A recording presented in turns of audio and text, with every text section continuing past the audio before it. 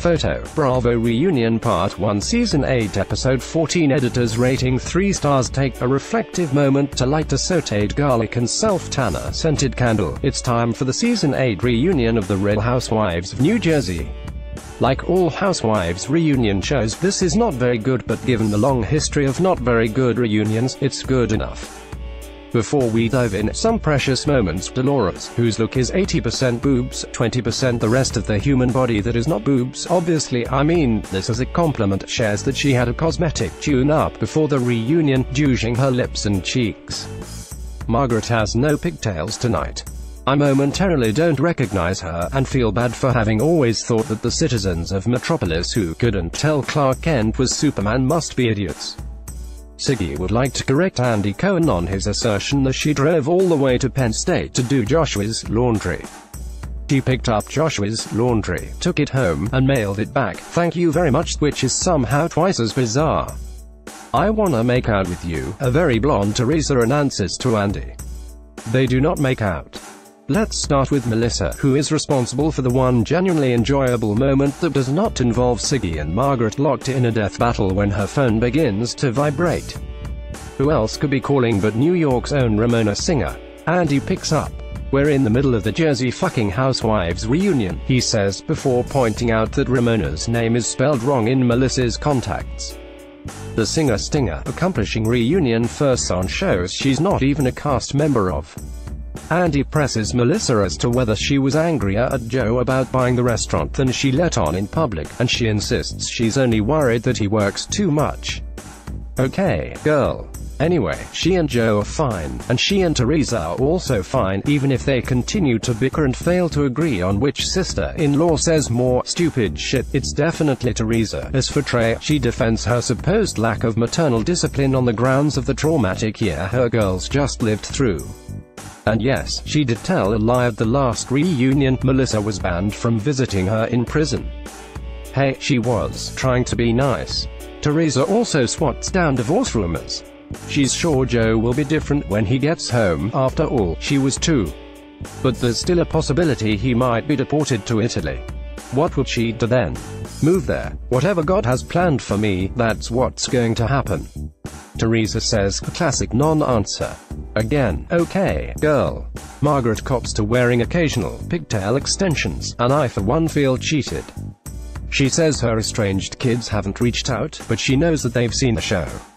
Siggy, who looks deeply unhappy to be here, cycles through so many disgusted facial contortions while Margaret speaks that I'm worried her face will, in fact, get stuck like that. Andy asks her why she sold soggy flicker t-shirts at the retreat if she really hated the name. Now when people call me Soggy Flicker, I don't mind it that much, she says.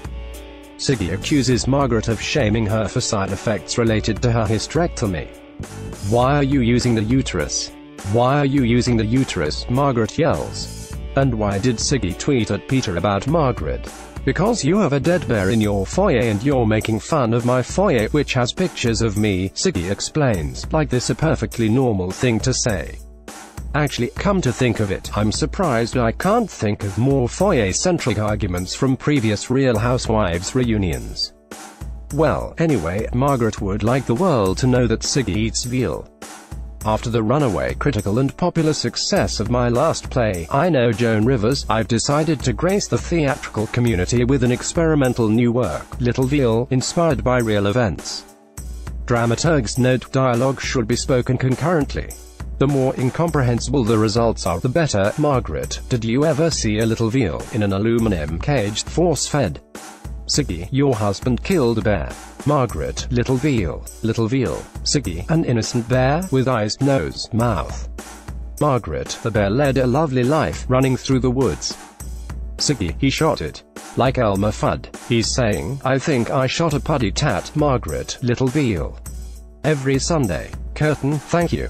Please hold your applause. It's time for Siggy and Margaret to take a well-earned emotional intermission, so Andy unveils Danielle Staub in a scarlet gown so sparkly that it's best to avoid looking directly at it. Do you still have your eclipse glasses? Danielle relates the horrifying story of how, after Teresa talked about Danielle's daily blowjobs on the show, a boy walked up to her daughters, unzipped his pants, and said, the what? Your mom did. Andy reads a pertinent fan question about RHONJ's past. Teresa called Danielle a prostitution whore among other things, but what did Danielle ever do to Teresa? You were putting my husband down, Teresa says. Danielle kindly points out that this was after Joe had used a gay slur, which is true, but sorry, folks. We've got to move on to Cake Gate. Teresa explains that part of the reason she threw the cake in the first place was because she felt at least one of its tiers, or perhaps its base, I'm calling for a Warren Commission-style inquiry, was made of plastic. A fan asks Siggy why, if throwing cake is so unacceptable, she felt it was okay to pour her glass of wine out on a table. First of all, when you're sitting at a table, you're at a table, right, begins Siggy's explanation, which gets no more cogent from there. Siggy is on the defensive throughout the hour, but what's far more scalding than any of the barbs she trades with Marge is when Melissa rightly takes the Sig to task for humiliating her at her party. Do the women believe that Siggy, as she claimed in Drunken Anger, really has a higher IQ than anyone else in the cast? The consensus is a resounding no. Siggy has said that her IQ is 167, but now she clarifies, I just make that up to make people laugh. What is funny about that? It just sounds like she's just lying. If she'd said 169, though, I'd be fully on board. At some point in this mess, Margaret tells Siggy she should star on The Real Housewives of Bellevue, a solid line that, in true Big M fashion, she spoils by repeating several more times. In the final moments of the episode, Kim D emerges with so much aggressive fanfare that this suddenly feels more like an episode of Raw than it already did. I thought this was the Real Housewives of New Jersey, not Tales from the Crypt, Teresa shouts. Andy tells her not to get off the couch. We'll have wait to see what happens next week, but it looks like Teresa does indeed get off the couch. RHONJ Reunion Recap, Little Veal